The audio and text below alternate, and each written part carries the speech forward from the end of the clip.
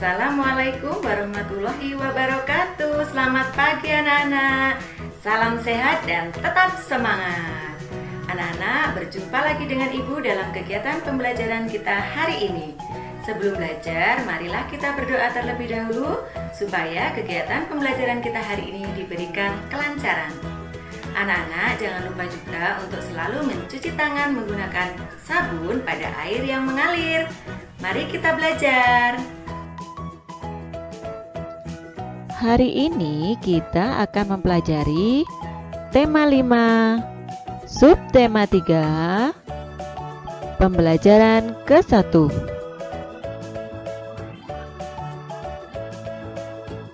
Dengan materinya yaitu keberagaman karakteristik individu, kalimat permintaan tolong, dan membuat karya tiga dimensi.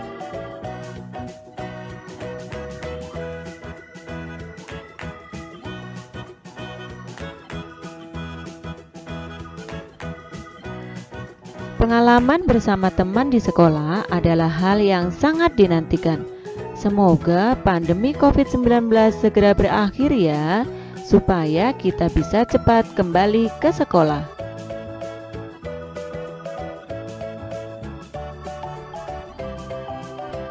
Pergi ke sekolah membuat hati merasa senang, berjumpa dengan teman dan sahabat, belajar dengan guru yang sabar selalu banyak hal yang kita dapatkan jika kita pergi ke sekolah.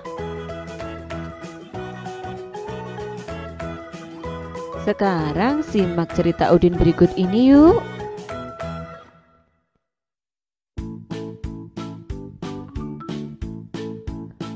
Setiap hari Udin pergi ke sekolah.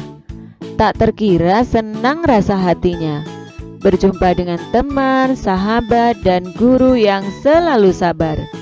Banyak pengalaman yang didapat di sekolah, kadang mengesalkan, tetapi lebih sering menyenangkan. Udin senang pergi ke sekolah karena bertambah teman dan ilmu.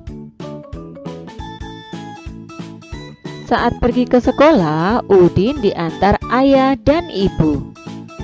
Udin juga pergi bersama kakak. Namanya Mutiara. Wajah Udin mirip dengan ibu. Wajah Mutiara mirip dengan ayah. Udin dan Mutiara mempunyai ciri yang berbeda. Demikian pula dengan ayah dan ibu.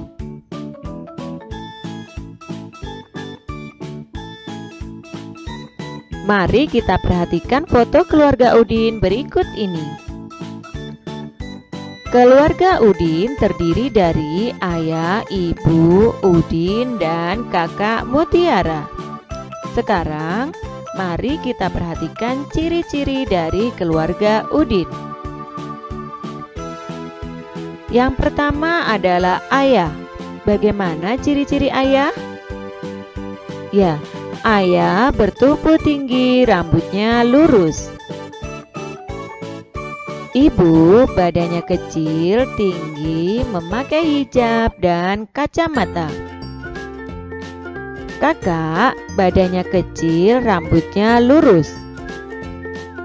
Adik atau Udin badannya kecil, rambutnya lurus dan memakai kacamata.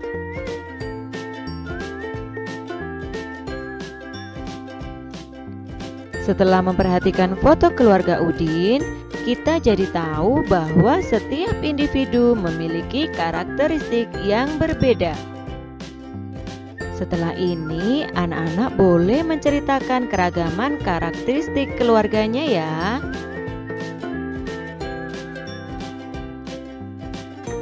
Di sekolah, Udin dan teman-teman membuat lempung terigu.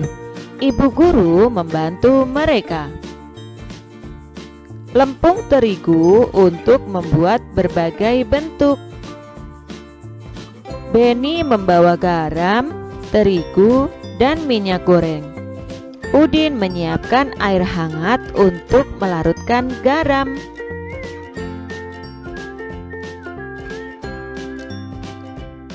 Sebelum membuat lempung dari terigu, Bu Guru berpesan.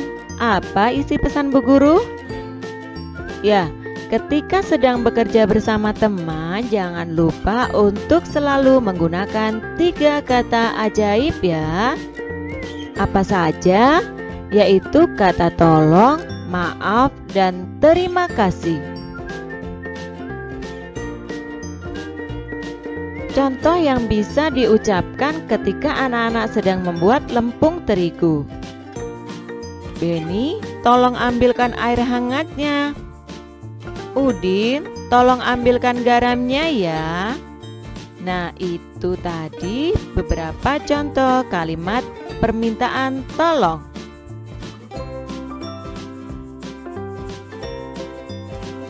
Sekarang mari kita simak bagaimana cara membuat lempung dari terigu. Setelah itu, praktekkan di rumah dan buat berbagai karya dari lempung terigu ya. Selamat mencoba anak-anak. Siapkan 10 sendok garam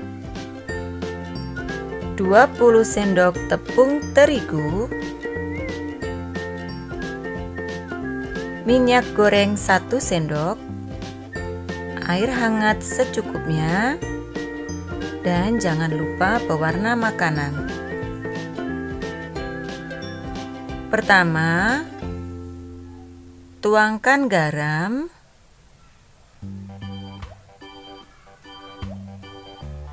dan larutkan dengan air hangat.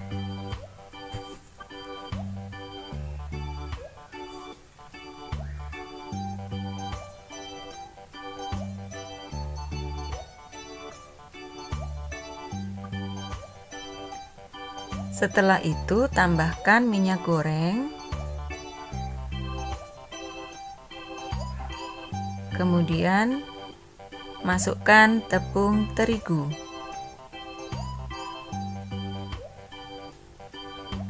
Aduk adonan sehingga menjadi rata dan tidak lengket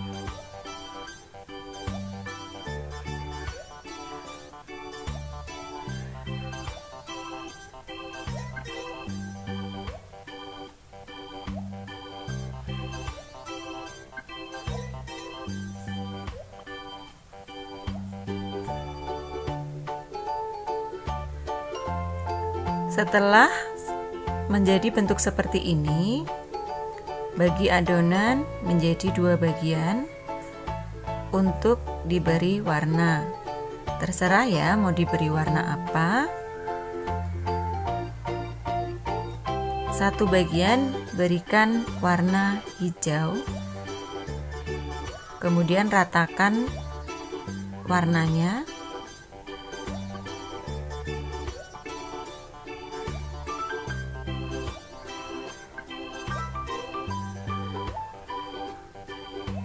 Setelah tercampur dengan rata, ganti dengan adonan yang berikutnya.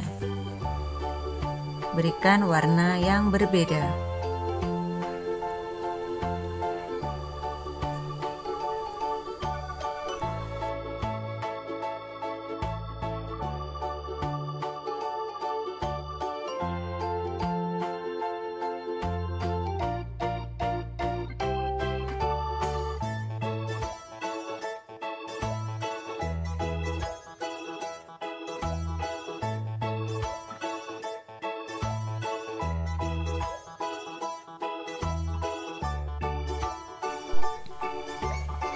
Nah, lempung dari tepung terigu sudah jadi dan sudah siap digunakan untuk membuat hasil karya.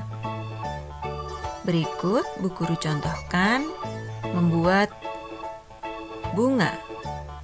Anak-anak bisa berkreasi sendiri di rumah ya.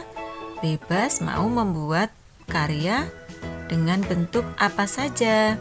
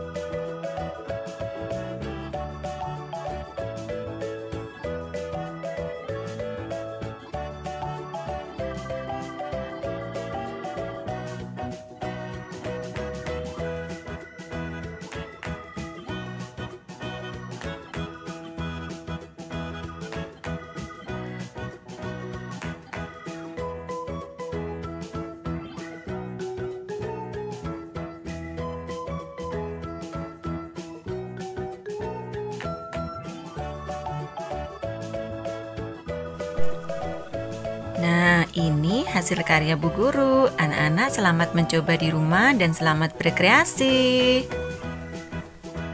Ya, anak-anak itu tadi kegiatan pembelajaran kita hari ini. Semoga bermanfaat. Jangan lupa selalu mengucapkan terima kasih kepada orang tua dan keluarga di rumah yang sudah membantu. Terima kasih atas perhatiannya. Wassalamualaikum warahmatullahi wabarakatuh. Tetap semangat.